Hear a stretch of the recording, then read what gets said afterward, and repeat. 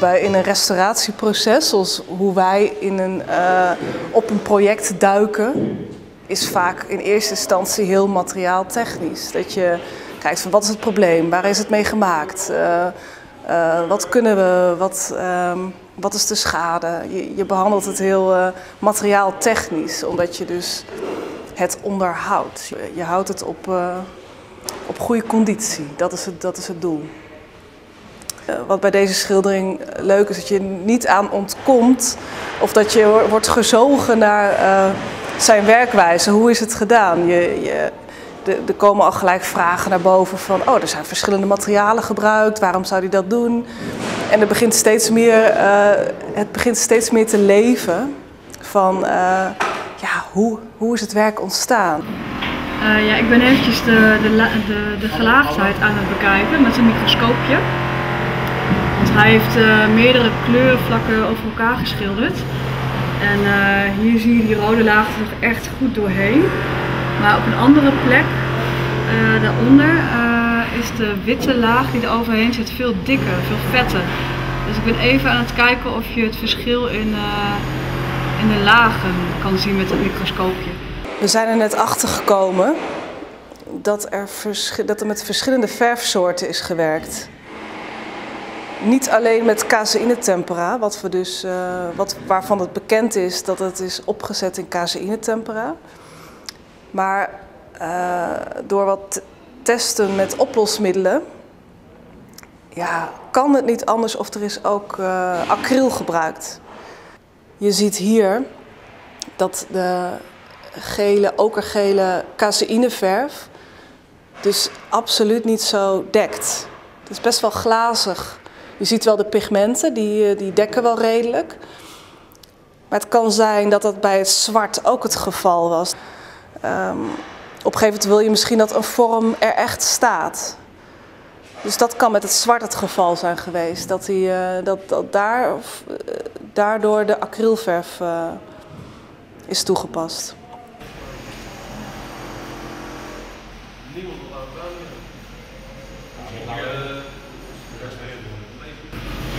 Heel dekkend, zie je dat? Hier zie je doors, het het geel. Daar, daar, kleine, hele kleine puntjes. Blauw. Zie je blauw eronder? Dit is duidelijk een, uh, een keuze van de schilder dat dit vlak wit moest zijn. Hieronder zit het geel weer door. En het blauw en het blauw dus ja, dan kan het bijna. Er zit ook niet nog een andere wit onder. Het is duidelijk gewoon puur die witte acryl. Dus hij heeft gewoon met meerdere verfsoorten gewerkt. Ja, het caseïne is ook heel schraal. je, je kan ook, caseïne kan er ook heel glanzend en vet uitzien als er veel bindmiddel in is gebruikt. En dan is het ook heel filmvormend. Ik kan me ook voorstellen, of het, het is ook wel logisch dat je het wat schraler maakt qua de structuur. Want als je op deze structuur hele vette, uh, vette caseïne gaat zetten, ja, dan heb je veel meer kans dat het afknapt. En dat het uh, ja, veel hoger slijtagepercentage krijg je op een gegeven moment.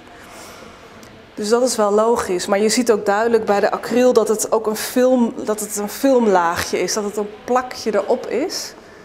Ja, het wijkt erg af van de caseïne.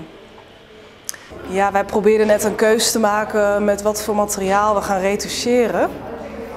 En uh, onze eerste, ja, wij retoucheren, met, uh, met uh, aquarelverf, doen we vaak. Maar dit zijn zulke intense kleuren we hadden zelf het idee om daar um, uh, acryl voor te gebruiken, maar dat ligt nu wel weer op wat lossere schroeven. Ja, we, we weten het nu nog niet. Ja, wij twijfelden hier of uh, de caseïne tempera eventueel wat verschraald is geworden en dat het later nog even extra is aangezet met zwarte acrylverf. Maar dat kan ook uh, in het maakproces gebeurd zijn. Dat hij zelf is overgestapt op de acrylverf. Dat kunnen wij nu niet uh, zeggen. Ja, in, in een restauratie, je kiest vaak voor een product, als je een product aanbrengt, dat het afwijkt van uh, de, het origineel. Zodat je het met een oplosmiddel kan verwijderen zonder het origineel. Daarom werk je met reversibele producten. Maar het moet dan uh, op die manier reversibel zijn dat het, dat het origineel niet uh, er meegaat. Dat is, de, dat is dan de reden dat je het doet. Uh, wat hier een probleem is qua reversibiliteit, is dat qua structuur, nou zie hier nog maar eens wat af te krijgen. Weet je wel? Het is een hele poreuze ondergrond.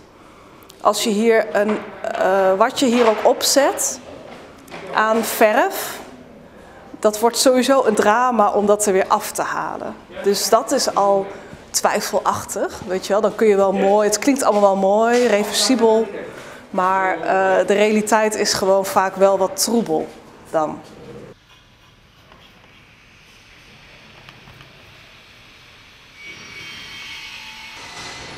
Ze hebben een gat geboord om leidingen door te leggen. Nou, die gaten zie je hier. Ik denk dat ze hier geboord hebben en hier zo. Ja, het gevoel van mensen is vaak van, ah, oh, dan maken we dat even dicht. En bij restauratie wordt vaak gedacht dat er sowieso wel overgeschilderd wordt. Dat, dat is het gevoel, maar dat is dus absoluut niet aan de hand. Je probeert zo minimaal mogelijk dingen te retoucheren.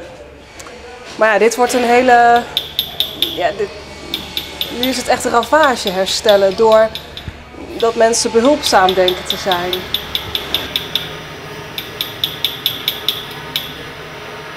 Dit is uh, een, uh, het boorgat, het uitgehaalde boorgat, zeg maar. Die, want ze wilden dus die kabels was door de muur leggen. En de locatie was eerst dus daarachter. Maar dat was dus helemaal verkeerd. En dit is één gedeelte die er is uitgeboord, maar zo zijn er drie of vier van deze dingen uitgehaald. Dus ja, ook een stukje Willem Hussem. Ja, we hadden uh, gisteren nog eventjes een uh, schrikmomentje. Want uh, ze waren hier bezig met die kabels door die goot aan het trekken. En dat die, die kabelgoot die is daar dus nu net nieuw ingemaakt. En dus hebben al een gat in de muren moeten zagen. Maar uh, vervolgens gingen ze strekken aan die kabels en die goot lag dus eigenlijk als het ware op de muur nog. En uh, door die bewegingen uh, kwamen in één keer allemaal barsten in en wij schrokken ons te pletten natuurlijk. Dus wij, Aafje is even snel de stijger opgeklommen en met plakband nog eventjes de stukjes vastgeplakt. Zo van help als het maar niet valt. En hier zie je dus nog een aantal stukjes die, we nog, die eruit zijn gevallen. Dus dat is wel heel sneu. Frustrerend ook vooral. Niets is erger dan dat je lekstrepen moet overschilderen, want dat blijf je zien. En uh, ja, dat, dat, dat, dat blijf je ervaren als strepen. Je kan het wel heel licht een beetje zo inpunten. Dat zou dan nog de eindoptie zijn als al het andere niet lukt. Maar het liefst gebruik je gewoon geen verf in de restauratie. Gewoon laat je het zo. Liefst niet retoucheren, dat is het motto.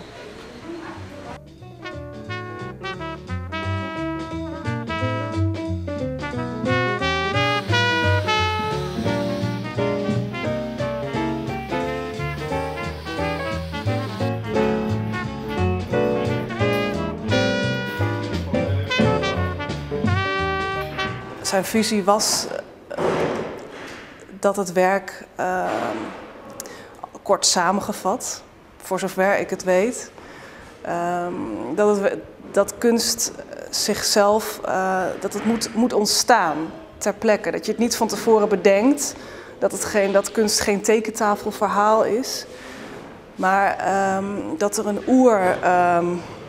Een onderbewuste oerkracht kan gaan spelen als je kunst maakt. Die in het werk zich kan openbaren.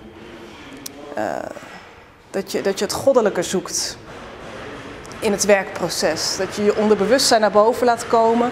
En in het maakproces laat stromen en eh, die je stuurt in, je, in, de keuzes die je maakt voor de, voor de kleuren, voor de vormen. En zodat uiteindelijk ook uh, andere mensen dat goddelijke kunnen ervaren in het werk. Omdat dat er onbewust dus in is geslopen.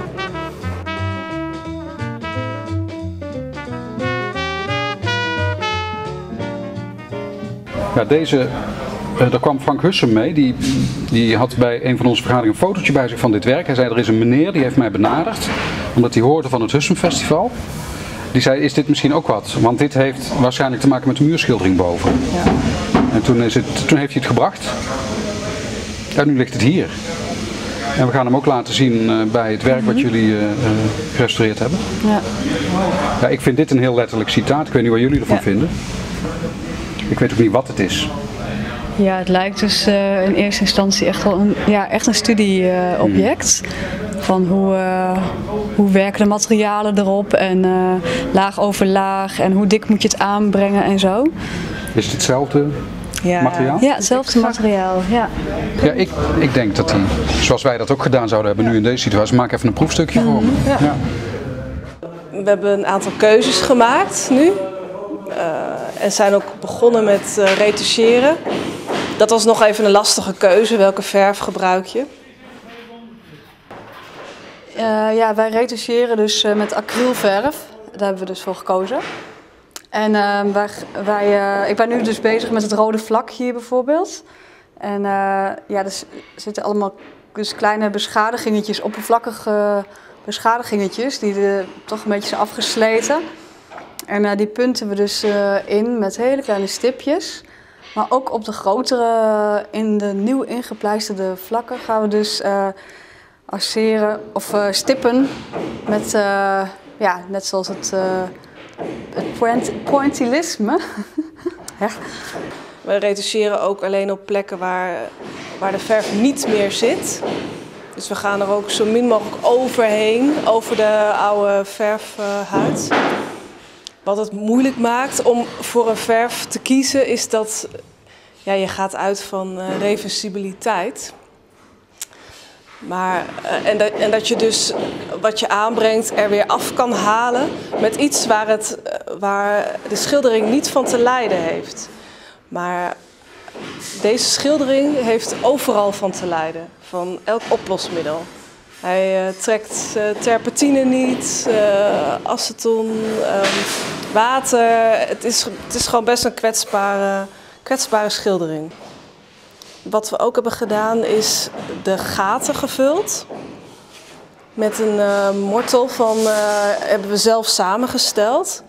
Hydraulische kalk, zilverzand en grinddelen gezeefd om precies de goede structuur te krijgen die het nu heeft. Dus we hebben ook een mal gemaakt om nog extra de structuur erin te kunnen drukken, zodat je nou, met scheerlicht gewoon uh, qua structuur amper ziet eh, dat, het, dat er een gat heeft gezeten.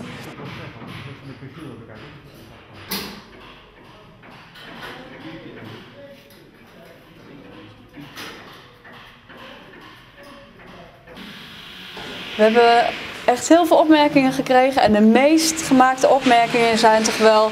Zo, daar moet je geduld voor hebben. Of, uh, ik wil ook wel zo'n schildering thuis. Of, en dan natuurlijk het meest frustrerende... Ik zou gewoon een rollen pakken. Dat soort uh, opmerkingen hoor je echt al twintig keer op een dag.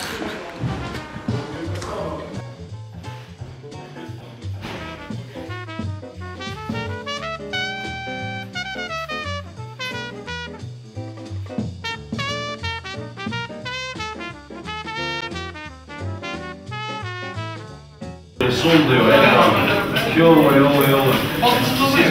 Hij maakt het nee, nee. Valt er wel mee toch? Ik ben, nee, maar dat ga ik Valt mee?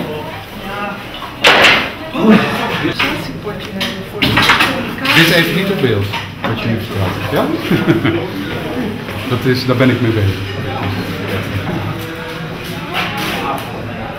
Ja, weet je, bij dit ziet niemand het. Heb je eraf? Ja, ja, ja, ja, ja, alles, alles, alles. Er komt toch een lichtlijn straks, dat zie je niet meer hè? Die komt 10 Nou, centimeter onder die goot.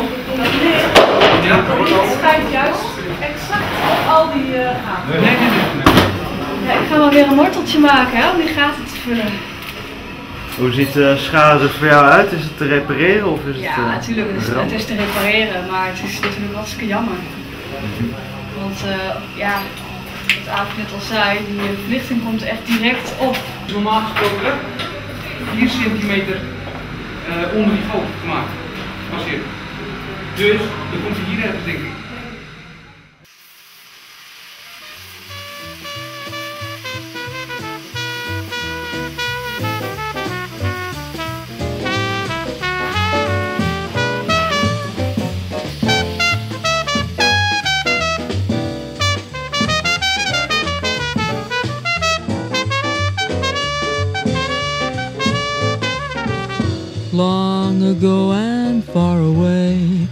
I dreamed a dream one day, and now that dream is here beside me.